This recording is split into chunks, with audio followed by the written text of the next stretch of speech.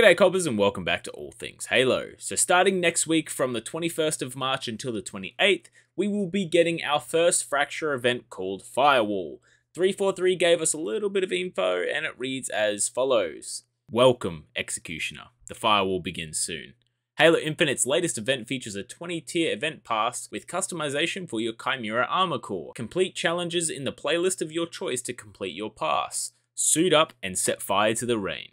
At first, you might be thinking, hey, we got 30 tiers last time with all these fractures. What a stitch up. Well, 343 kept their word and actually are delivering shorter seasons. So this means these fracture events will be, you know, sifted through much faster. So it's actually a really good thing. Really proud of 343. I presume it will be broken up into four fracture events, which means that you'll only be able to earn five tiers per week that the event is active. So that's fair enough, I guess. You know, you got to kind of kind of drag it out just a little bit. The unlockable armor is awesome. I love the addition of that visor plating. It changes color depending on your visor color that you have equipped, which is an amazing touch. That's the type of stuff I want to see 343 do. That wacky, cool, but really cool aesthetically and really nice. Like, I'm keen to see what sort of customization things that people come up with and combinations and everything like that. It would look fantastic.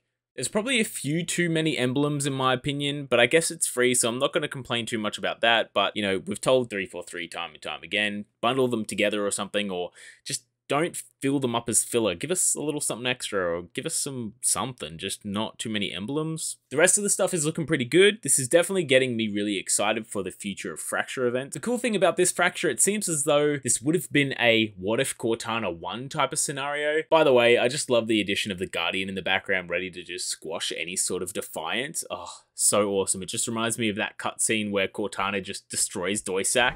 And you understand the consequences of defiance. I do. Do you? Doisac, and it's just Atriox. Oh, he's just, do you understand the consequences of defiance? I'm really excited for this event. I have a feeling it's just going to make Season 3 even better.